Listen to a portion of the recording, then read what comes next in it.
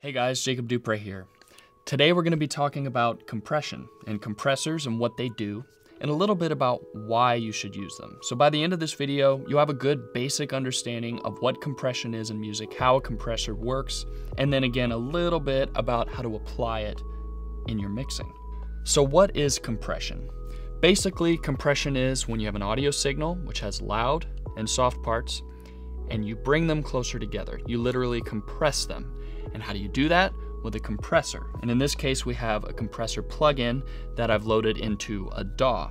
Now, the concept of compression is pretty simple, right, to understand, but using a compressor may seem kind of daunting to you. And at first it is. I know when I first used it, um, it was pretty, you know, daunting and complicated looking. You kind of like, I don't know what this does, I don't know what this does, I don't know what this means.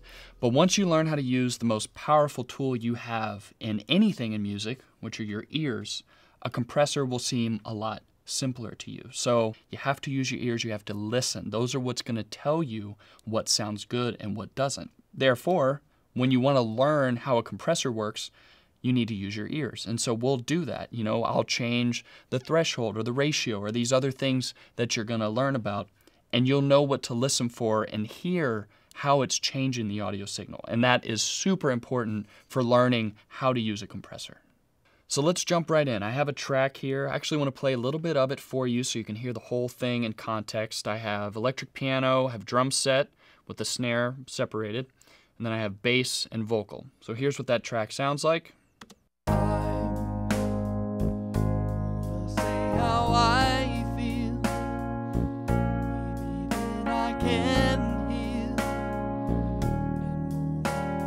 The vocal is uncompressed right now. There isn't a lot of compression or any kind of processing going on to any of it. This is basically just the raw tracks, right? So now to go over the basics of what a compressor does, let's add compression to the snare channel.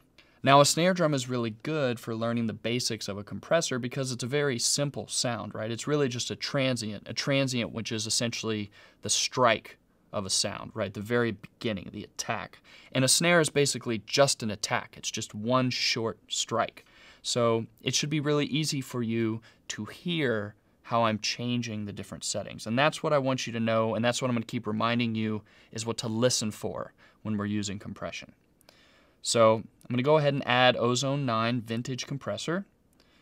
By the way, there are loads of great compressor plugins. They do all basically do the same thing.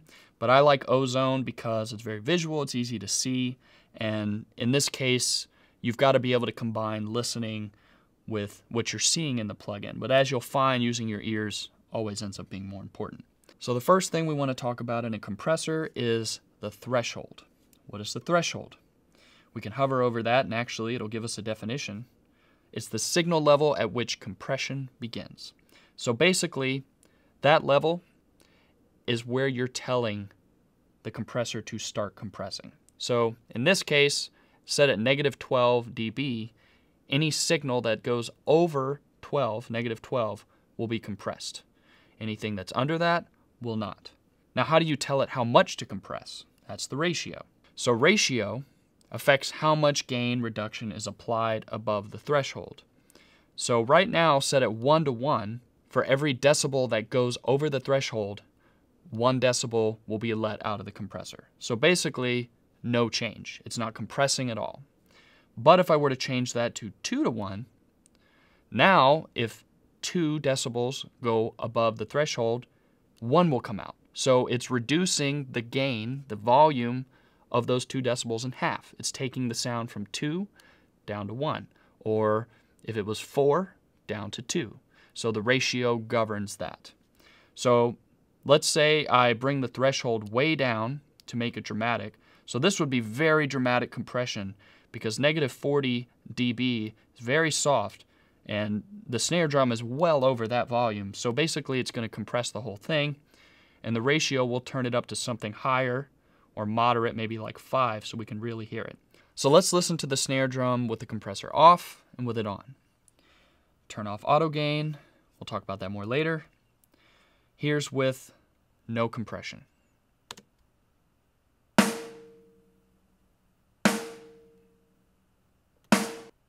Right, so that's the raw snare sound. Now we're going to turn off bypass. Now the compressor is on. Here's that.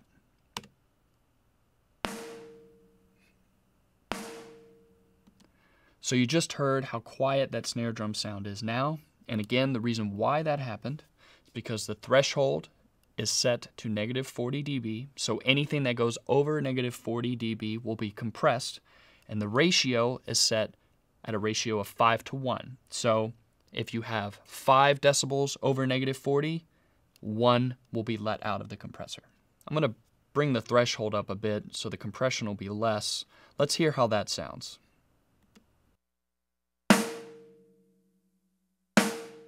So actually, in this case, the threshold is so high that no compression is happening, right? Look at the graph up here. So see that blue line dips to show you what's being compressed in the waveform, which is what you're watching go by. So if I bring this down again, now we'll probably start seeing some compression. Right, so you see that little dip in the blue line is showing you. That's why I like ozone, because it shows you visually how compression is being applied.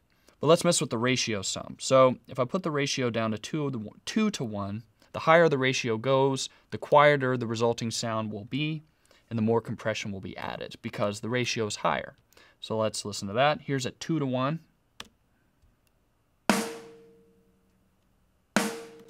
Okay, so you can see the amount of compression that was done there. Now I'm going to increase it to 6. Now listen, really listen. Also, I would encourage you through some of these to close your eyes and listen too. Don't always just look with your eyes. But you can also, if you are looking, pay attention to the little blue line in the graphic.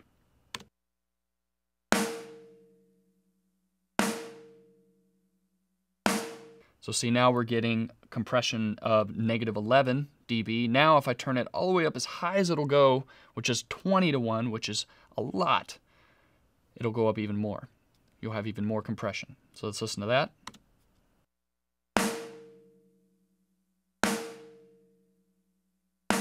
So now we're getting compression of negative 14 to negative 17, which is a lot more. And again, with the compression all the way up, and if I were to lower the threshold all the way down to negative 60, now it's going to just be completely squashed down and so quiet. I can barely just hear like a little tick in my headphones. The next thing we're going to look at is attack, and on a compressor, attack determines how quickly processing is applied to a signal that reaches the threshold. So the Ozone 9 vintage compressor works really great, but it is meant to emulate an older style of vintage compressor, and some of the controls like the release only goes up to 150 milliseconds, which for most compressor plugins you'll find isn't very high. So I want to go ahead and switch to another one. I'll disable this one, and then go to Ozone 9 Dynamics, which also includes more features like a limiter, and it has some other uh, functions in the compressor itself, but we're just going to focus on using this one to show attack and release, because as you can see, it goes down to 0 milliseconds all the way to 500, and the release goes to 0 all the way to 5,000 milliseconds, which is a whole 5 seconds. So that extreme in values will really make it easy for you to hear the differences. I'm going to also go ahead and blow up this plugin a little bit, make it bigger so you can see this graph here and you're going to see the differences very clearly in this graph.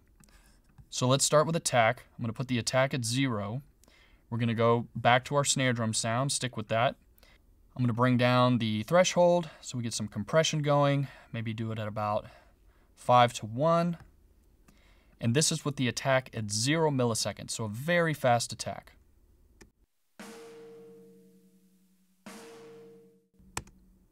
So what you're hearing there is the entire beginning of the sound being compressed, right? Because the attack is at zero. So once that sound goes over the threshold, it's immediately compressing. So the transient, that's the attack of the snare drum, is being completely squashed. It's being compressed very hard. Now, as I bring the attack up gradually, you'll hear more of the beginning of that snare sound come through, that transient. So check this out.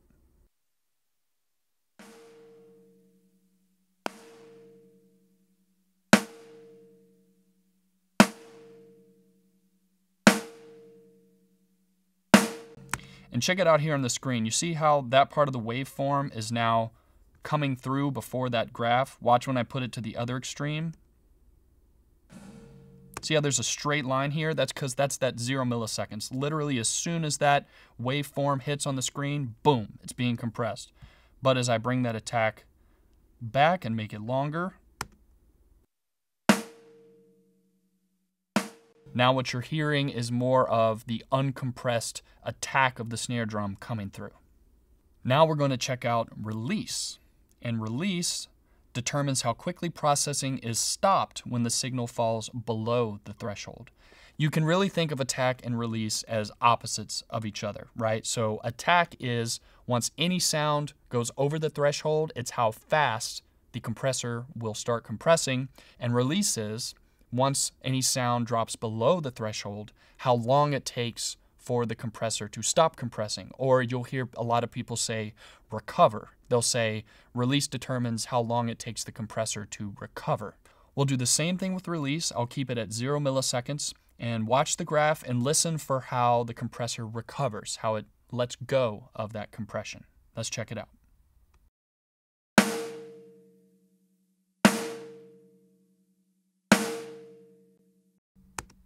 Now, also you notice because the release is very short, you're seeing a lot of jagged lines in that recovery graph, right? You see how jagged it looks? It's not very smooth, but as I increase that release time, what you're going to see is that recovery line become longer, especially once we get to 5,000 milliseconds, which is five seconds. It's going to take a whole five seconds for it to come back, and you'll see that line smooth out. So now I'm going to play it again. And just to show you, I took some of the repeated snare drum hits off so that there'll just be a strike and then silence after that. So you can really see over a longer period of time how the compressor reacts with those different extremes on the release. So back to zero milliseconds. So it didn't take long to recover. See, it recovered very quickly. Now if I put it to 5,000, watch how long it takes. Still recovering, still going. so obviously there's no more sound, so it's not compressing because there isn't anything for it to compress. But that's still crazy, right? How long that takes. So maybe if you put it somewhere in the middle, it would sound like this. So that covers the basic functions of a compressor. But now let's take that into a mix and use it on our vocal track. All right, so let's listen to the track as it is right now. Again, keep in mind, I haven't spent a lot of time mixing with this or doing compression of the other instruments, so it's a pretty raw track, but we're really just going to focus on the vocal right now. So listen to the vocal, listen how it sounds and how it sits in the mix right now.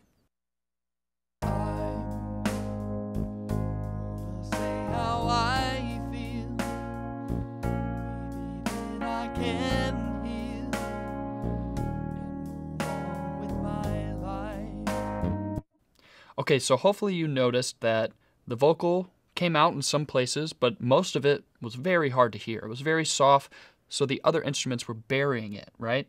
We can fix that with compression. So let's start. I'm just going to play back.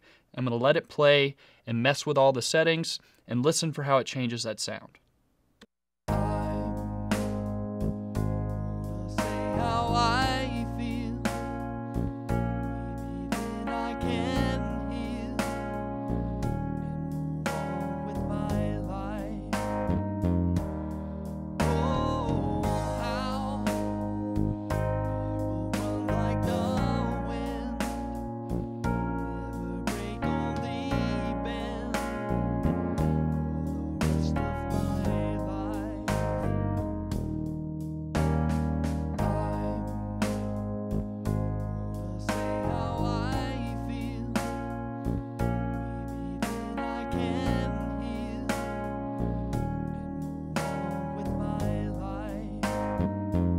Okay, so now at the peak, I think I've got about, you know, maybe negative 10 decibels of compression going on. So now that we've applied some compression, really all we've done is lower the volume of the track, basically, right?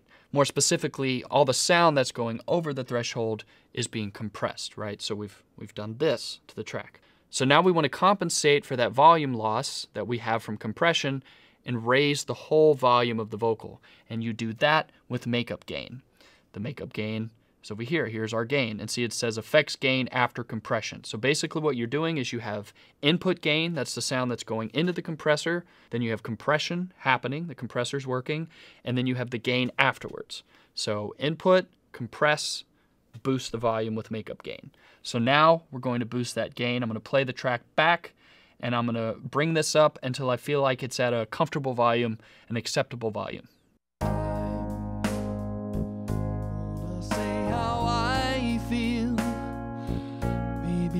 Then I can heal and move on with my life.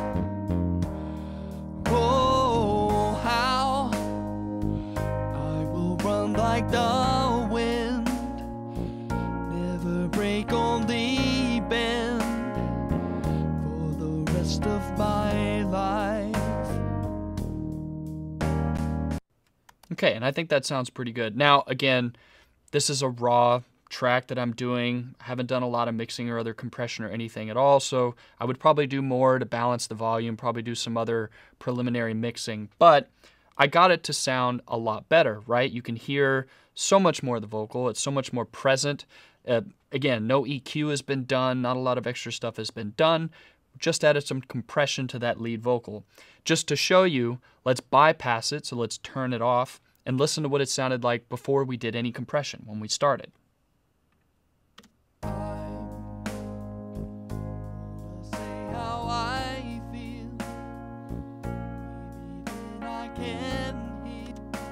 Okay, so I had a really dynamic performance, probably almost a little too dynamic, but it's a good example because it's very extreme. Those softer parts, like when I sang,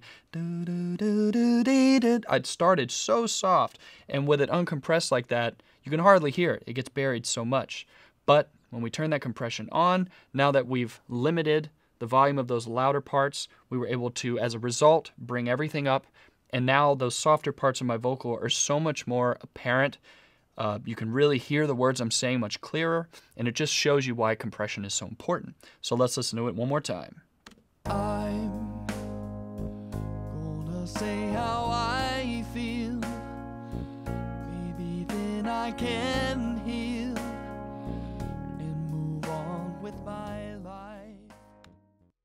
all right, so we've covered the basics of what a compressor does. This really just scratches the surface. There's so much more you can do, especially getting more advanced and using your ears and more complicated mixes. So I would invite you to leave comments on other videos you'd like to see about compression. Maybe you want to learn how to compress rock vocals specifically, or drums, or in specific genres of music, whatever it is, we'd love to hear about it. Also, if you have any questions about the kind of compressor you should get, or any questions about the ozone compressors, or any plugins that you'd like to know about, please comment there below, or you can always call your Sweetwater sales engineer. Thanks for watching. Be sure to like, comment, subscribe. Click here for more videos like these, or go to sweetwater.com for all your music instrument and pro audio needs.